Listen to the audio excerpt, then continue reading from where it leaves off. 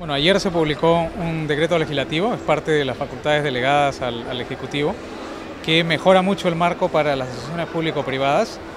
El reglamento tiene que estar eh, publicado eh, vamos, antes de, una fecha en febrero. Eh, la idea es que sea, se trabaje lo antes posible para poder tener ese nuevo marco operativo.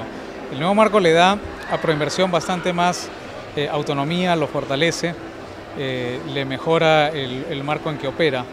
Eh, y fortalece también su consejo directivo. Hay un mandato claro de que Proinversión tiene que eh, desconcentrarse. Actualmente Proinversión tiene dos oficinas a nivel, dos oficinas a nivel eh, regional en Piura y Arequipa.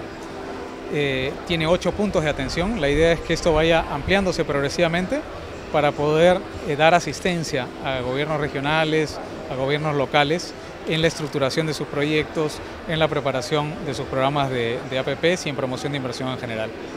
Bueno, de, hecho, infraestructura va a ser muy, muy importante. Muy importante. Ayer en la presentación que hizo el primer ministro Fernando Zavala, mencionaba la importancia de transporte. Eh, energía también va a ser eh, fundamental, pero infraestructura va a ser central dentro del programa de APPs.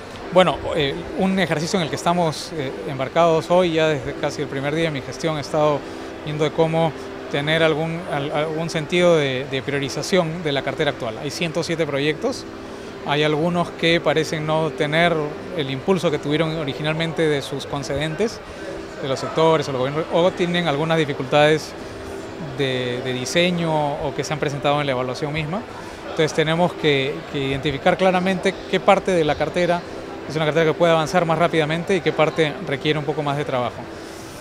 Eso en el corto plazo. En el mediano plazo el eh, nuevo marco, el decreto legislativo, le da al Consejo Directivo la posibilidad de definir eh, qué cosa entra y qué no entra en el plan de promoción de, inversiones, eh, que es básicamente el plan de trabajo para proinversión.